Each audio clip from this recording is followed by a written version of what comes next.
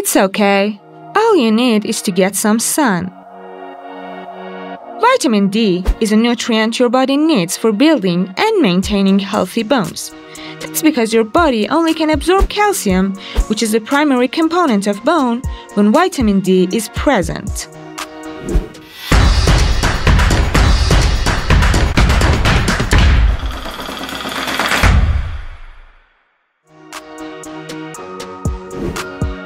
It's the key in absorbing calcium to maintain bone health and strengthen your bones.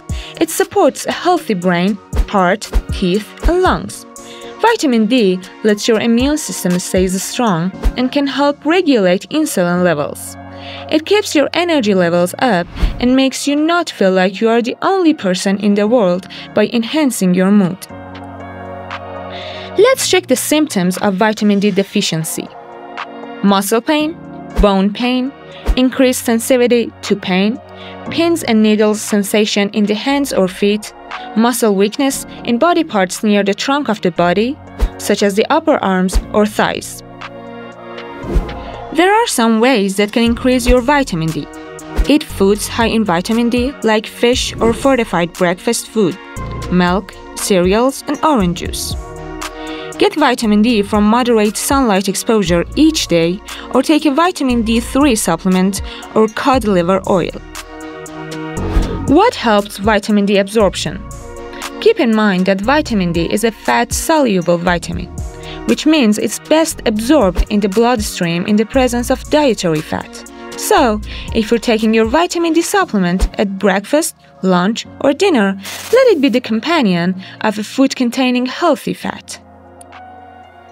The best times for taking vitamin D are alongside breakfast or with a bedtime snack as long as it doesn't interfere with your sleep. The key is to find what works for you and stick with it to ensure you're meeting your vitamin D needs. Taking vitamin D with a meal can increase its absorption, but studies on specific timings are limited. Hope researchers will do better. What if we try so hard to absorb vitamin D but some factors reduce or block it?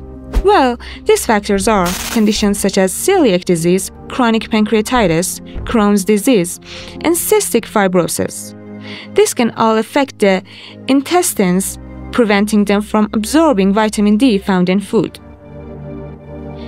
But there are also some risks of getting too much vitamin D. It is unlikely to happen through diet or sun exposure because your body regulates the amount of vitamin D produced through sun exposure. You should know vitamin D toxicity can result in a variety of health issues, such as frequent urination, apathy, vomiting, abdominal pain, dehydration, confusion, and increased thirst. And be careful. Caution is advised if you have diabetes, liver disease, or any other condition that requires you to limit or avoid these substances in your diet.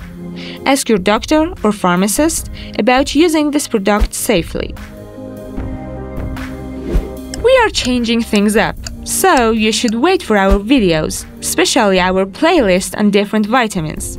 You can support us to keep making great videos Please like this video and subscribe to our channel so you won't miss them. Don't stay at home all day, because your body is praying for some sun. Have fun!